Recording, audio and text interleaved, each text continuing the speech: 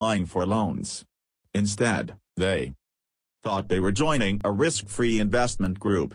Now, many of the loans are in default, the borrowers' credit ratings are in ruins, and lenders are pursuing the organizers of the purported investment group in court. Companies stuck with the defaulting loans include Countrywide Financial Corporation, the nation's largest home lender, and